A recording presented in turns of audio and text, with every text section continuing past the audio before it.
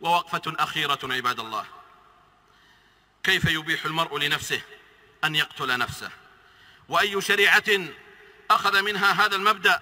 والله جل وعلا يقول ولا تقتلوا أنفسكم إن الله كان بكم رحيما إنه لا أحد إنه لا أحد من البشر أغير على دين الله من رسول الله صلى الله عليه وسلم ثم صحابته الكرام ثم السلف الصالح والخلف الكريم.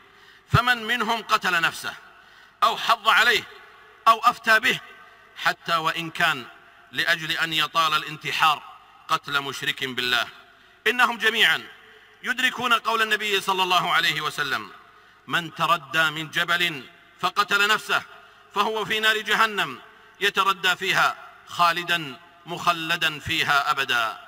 ومن تحسى سما فقتل نفسه فسمه في يده يتحساه في نار جهنم خالدا مخلدا فيها أبدا. ومن قتل نفسه بحديدة فحديدته في يده يتوجأ بها في نار جهنم خالدا مخلدا فيها أبدا. رواه البخاري ومسلم. وفي رواية والذي يخنق نفسه يخنقها في النار والذي يطعن نفسه يطعن نفسه في النار والذي يقتحم يقتحم في النار.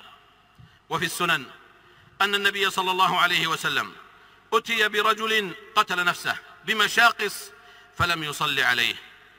فكيف إذا اجتمع قتل النفس مع الغدر والخيانة؟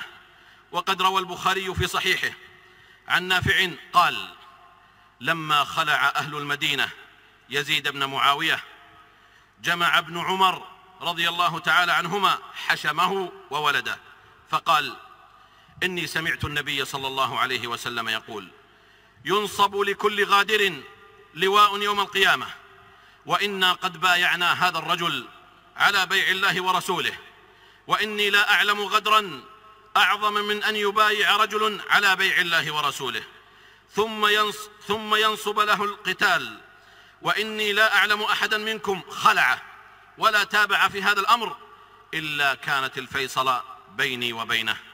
بارك الله لي ولكم في الكتاب والسنة ونفعني وإياكم بما فيهما من الآيات والذكر والحكمة.